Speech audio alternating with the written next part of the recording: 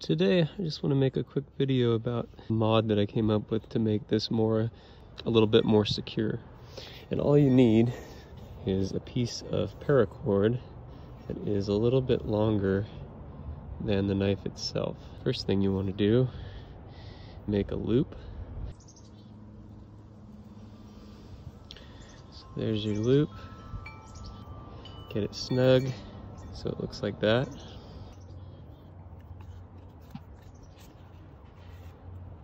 You pull this tight and then you just thread this back over the handle and then it's good to go. Depending on how you tie your paracord, you just grab this and pull it off and then you can pull the knife out because this loop opens up enough. You want to start out by feeding the knot through this so that it's sticking up and then you want to take the loop and pull up, pull this up into position um, with this knot showing because this is going to be your little pull to release.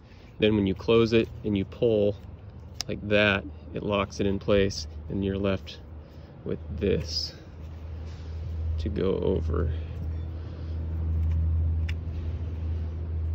the remaining butt handle.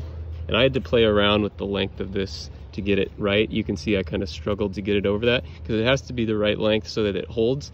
But then when you pull it away, it you know loosens and, and allows you to get the knife out. So again, uh, this is how it'll look. You just want the the knot sticking out of here. You pull it over the knife handle and then you